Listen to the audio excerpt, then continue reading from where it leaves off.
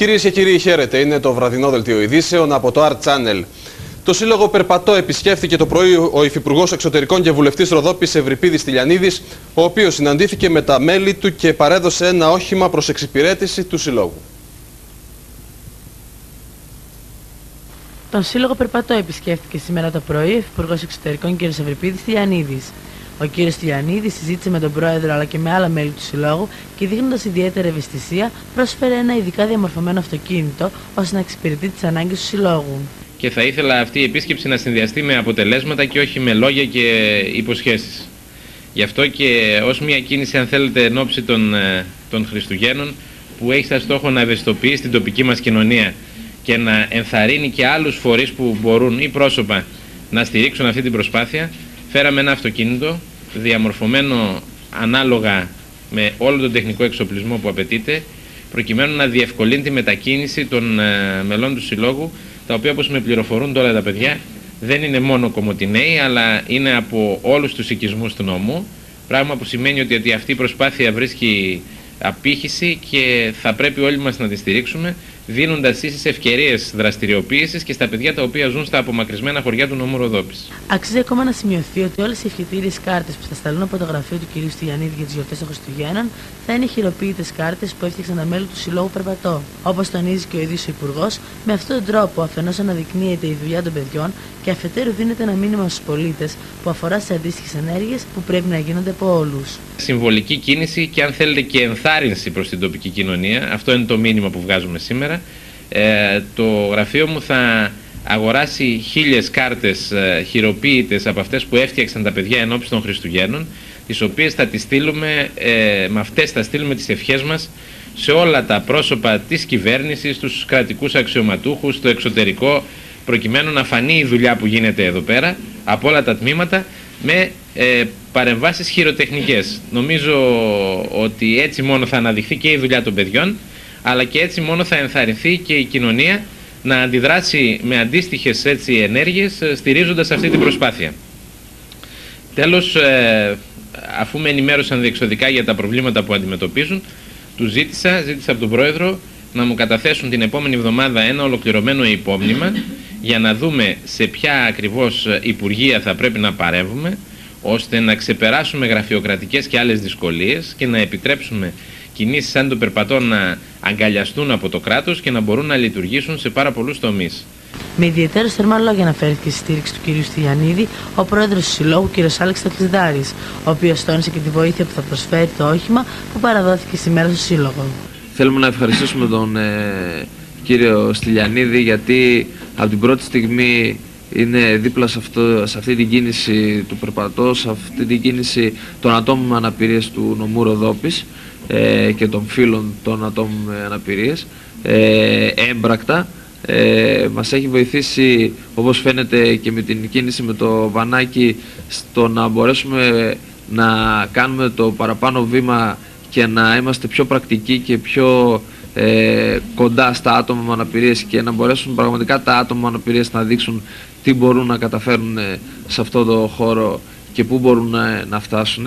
Ε, κάθε φορά που έχουμε την δυνατότητα να έρθουμε σε επικοινωνία είτε να μιλήσουμε πραγματικά λύνονται προβλήματα του περπατώ ε, και γίνεται η η λειτουργία του συλλόγου πιο εύκολη και επιτυχαίνουμε και κατορθώνουμε περισσότερα ε, πράγματα. Όσες φορές τον χρειαστήκαμε ήταν δίπλα μας. Μια κοινωνία πολιτισμένη λοιπόν είναι ο στόχος και όπως ευστόχως παρατηρεί ο κ. Στυλιανίδης, η κοινωνία που δεν αντιλαμβάνεται το έργο που μπορεί να παραχθεί από άτομα με ειδικές ικανότητες όπως είναι τα μέλη του Συλλόγου Περπατώ, είναι μια κοινωνία με ειδικές ανάγκες.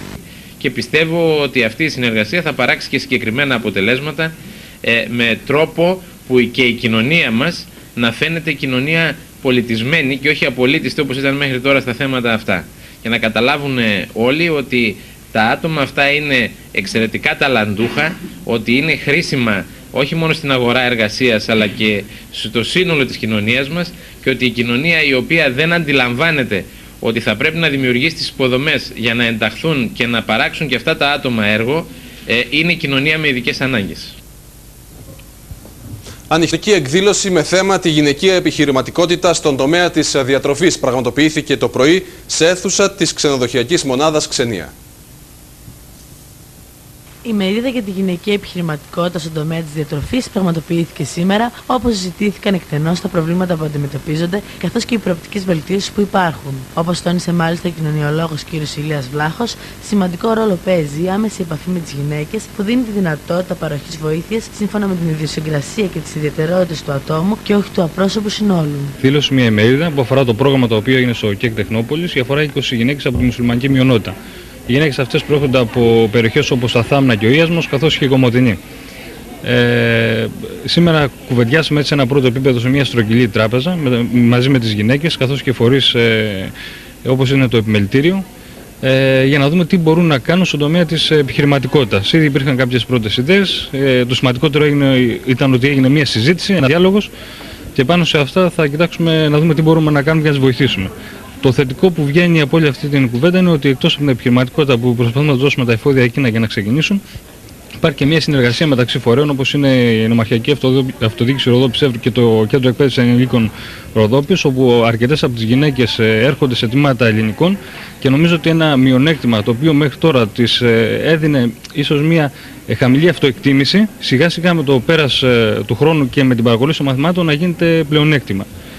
Ε, νομίζω ότι το πρόγραμμα αυτό θα έχει θετικά αποτελέσματα και εμείς είμαστε εδώ για να βοηθήσουμε πάνω απ' όλα να βρουν τον δρόμο εκείνο που θα τους ωφελήσει ε, το θεωρητικό κομμάτι το οποίο είναι ο αλφαβητισμός που παρακολούθησαν. Υπάρχει και η συμβουλευτική το οποίο θεωρούμε ένα σημαντικό κομμάτι γιατί ερχόμαστε σε επαφή σύμβουλοι, κοινωνιολόγοι και ε, εκπρόσωποι των κοινωνικών επιστημών, ψυχολόγοι, κοινωνική λειτουργία με τις γυναίκες, καταλαβαίνουμε την ιδιοσυγκρασία τους και το χαρακτήρα τους και με αυτόν τον τρόπο μας δίνει τη δυνατότητα να τις κατευθύνουμε εντός εισαγωγικών και όχι εμείς να τις επιβάλλουμε το τι θα κάνουν, προς ε, τις κατευθύνσεις που θέλουν να ακολουθήσουν και να συζητήσουμε τα προβλήματα τα οποία έχουν και τις τυχόν ιδιαιτερότητες που ίσως τους ε, συγκρατούν στο να κάνουν το, το επόμενο βήμα.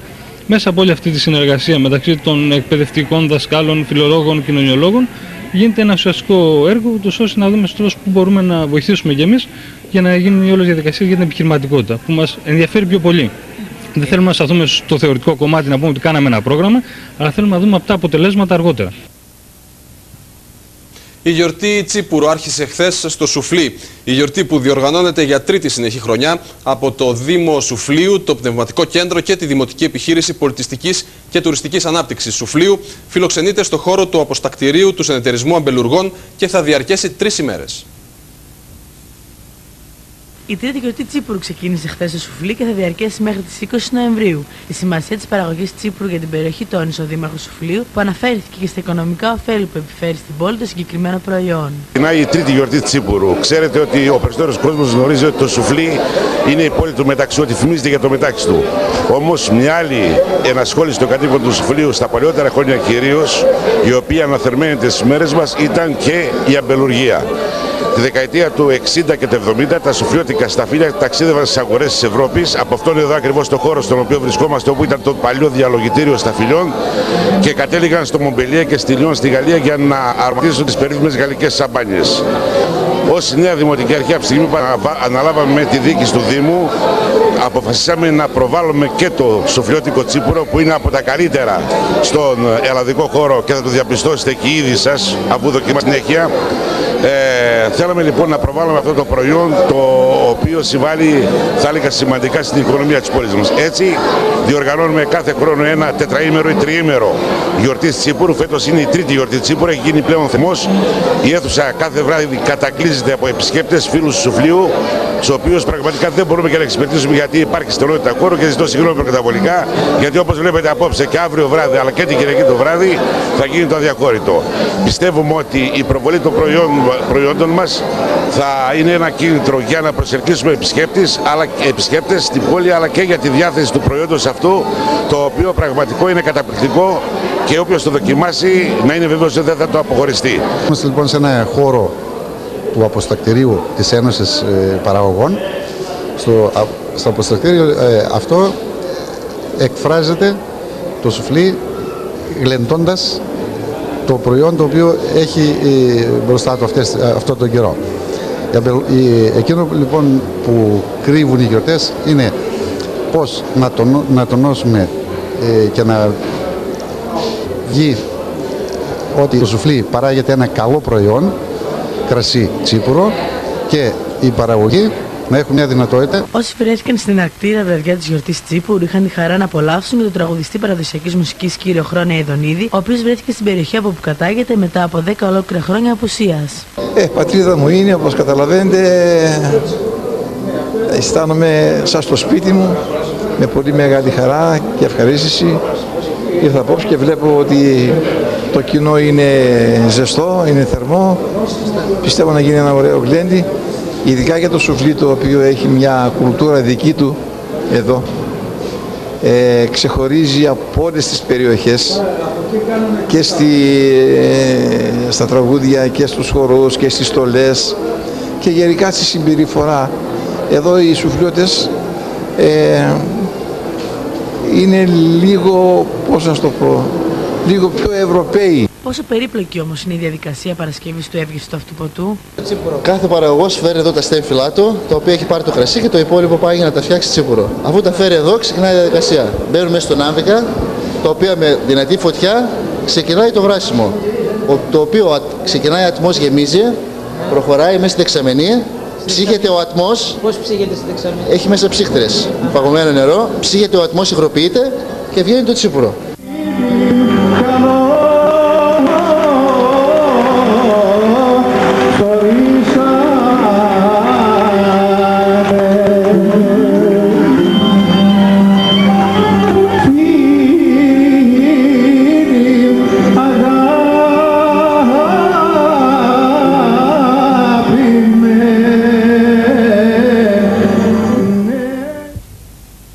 Η παρουσίαση του νέου βιβλίου του Όμηρου Μαυρίδη με τίτλο Καλιστό και Ιμπραχήμ έγινε χθες το βράδυ στο Συνεδριακό Κέντρο Σαπών. Την παρουσίαση του βιβλίου έκανε η φιλόλογος καθηγήτρια κυρία Εύα Πολίτου. Την εκδήλωση τίμησε με την παρουσία της και η βουλευτής του Πασόκ στο νομό Ροδόπης, Χρύσα Μανολιά. Τυχαίνει να είναι γέμμα θρέμα και μάλιστα ένας από τους πολύ γραφότερους της περιοχής μας δεν μπορεί να μην συγκινούμαστε. Εκδήλωση για την παρουσίαση του νέου βιβλίου του Όμηρου Μαυρίδη με τίτλο Καλιστό και Ιμπραχήμ πραγματοποιήθηκε χθες το βράδυ στο Συνεδριακό Κέντρο Σαπών με διοργανωτές στο Δήμο Σαπών και το Σύλλογο Ποντίων Σαπών τα Κασιτερά. Η σημερινή παρουσίαση του βιβλίου του κυρίου Όμηρο Μαυρίδη στη συνεργασία με τον Πολιτιστικό Σύλλογο Σαπών ε, τα Κασιτερά είναι χαρά και τιμή για τον τόπο μας διότι είναι σαπέος το ευχαριστούμε γιατί αυτό συμβάλλει στην πολιτιστική δημιουργία του τόπου. Χρέος μας έναν άνθρωπο πνευματικό με ακαδημαϊκή καριέρα στη Γερμανία και με υπολογίσιμο συγγραφικό έργο να το στηρίξουμε και να προβάλλουμε το έργο. Γι' αυτό πήραμε την πρωτοβουλία σε συνεργασία με το Δήμο Σαπών για να παρουσιάσουμε το καινούριο του βιβλίο και να προσπαθήσουμε να το προωθήσουμε. Ο ίδιος ο συγγραφέας, θέλοντας να περάσει ένα μήνυμα, τόνισε τα ωφέλη του διαβάσματος, συγκρίνοντας τα μάλιστα με τις βλαβερές συνέπειες που έχουν άλλοι τρόποι ψυχαγωγία. που οι άνθρωποι δεν μπορούν να το αγοράσουν φυσικά, δεν με πειράζει, αρκεί, αρκεί να το διαβάζει. Αυτό είναι το μήνυμά μου. Να, ο, ο Έλληνας να, να αρχίζει να, να διαβάζει και να αποφεύγει λίγο ε, ξέρω εγώ, τα καφενεία και κάτι τέτοια. Καλύτερα και την τηλεόραση. Προπάντων η τηλεόραση αυτή κάνει πολύ κακό στον άνθρωπο, στον Έλληνα και αυτά τα σύρια που τα βάζουν σε σειρές και είσαι αναγκασμένος κάθε τόσο και λιγάκι να βλέπεις τη συνέχεια. Αυτό σε κάνει εξαρτημένο και η εξάρτηση είναι εξάρτηση. Αμέσως τώρα θα κάνουμε μικρή διακοπή για διαφημίσεις και θα επιστρέψουμε σε λίγο με την υπόλοιπη επικαιρότητα.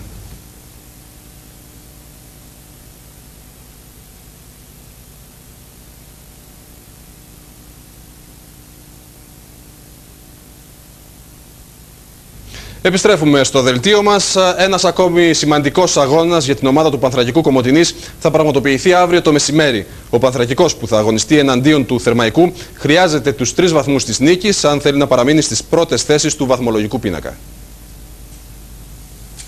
Την ομάδα του Θερμαϊκού θα αντιμετωπίσει αύριο ο Πανθρακικό σε έναν εντός έδρας αγώνα, του οποίου το αποτέλεσμα είναι πολύ σημαντικό για τη μετέπειτα πορεία της ομάδας στο πρωτάθλημα. Οι τρεις βαθμοί της νίκης είναι πολύτιμοι, αφού θα εξασφαλίσουν τη διατήρηση της ομάδας στις πρώτες θέσεις του βαθμολογικού πίνακα και οι παίκτες θα πρέπει για άλλη μια φορά να καταβάλουν μεγάλη προσπάθεια για την επίτευξη αυτού του στόχου. Το αυριανό παιχνίδι με το Θερμαϊκό είναι πάρα πολύ κρίσιμο.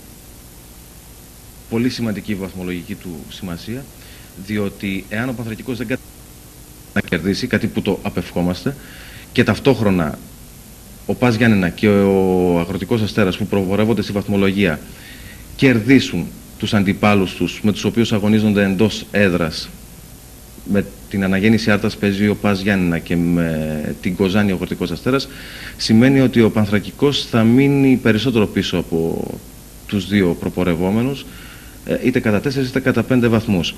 Ε, τούτων δοθέντων η νίκη είναι μονόδρομος. Αύριο θα πρέπει η ομάδα να κερδίσει για να παραμείνει στο γκρουπ των πρωτοπόρων. Ε, και συνάμα αν κερδίσει θα αφήσει και τον Θερμαϊκό πίσω. Οπότε θα αποσπαστούν οι τρεις ε, πρώτες ε, ομάδες και θα συνεχίσει ο Πανθρακικός μια πολύ καλή πορεία συμμετέχοντας ε, και βρισκόμενος στις κορυφαίες θέσεις της βαθμολογίας με ό,τι αυτό μπορεί να συνεπάγεται για το μέλλον. Ωστόσο, η ομάδα του Θερμαϊκού πρέπει να πούμε ότι είναι μια πάρα πολύ καλή ομάδα, πάρα πολύ επικίνδυνη ομάδα. Το μαρτυρά άλλωστε και η βαθμολογική της ε, θέση. Θέλει πολύ προσοχή το αυριανό παιχνίδι, υπομονή και επιμονή από όλους. Και από τους ποδοσφαιριστές και από τους προπονητές και από τους φιλάθλους, οργανωμένους και μη. Ε, Συνεπώς, για μία ακόμη φορά, η πόλη μια ομάδα είναι μεγάλη ανάγκη να συνεχίσει νικηφορά ο Πανθρακικός και μπορεί να το πετύχει διότι έχει αποδείξει ότι έχει μια πάρα πολύ καλή ομάδα, έχει ένα πάρα πολύ δυναμικό φύλαθλο κοινό και άρα δικαιούται και μπορεί να συνεχίσει τις επιτυχίες του. Η κακοκαιρία δεν πρέπει να ανησυχεί τους φιλάθλους του Πανθρακικού, αφού το στέγαστρο της θύρα 1, που είναι σχεδόν έτοιμο, θα τους προστατεύσει από μια πιθανή βροχόπτωση. Έχει τοποθετηθεί το μεγαλύτερο μέρος του στεγάστρου στην θύρα 1, υπολείπονται μόνο δύο πολύ μικρά κομμάτια για να συμπληρωθεί όλο το στέγαστρο.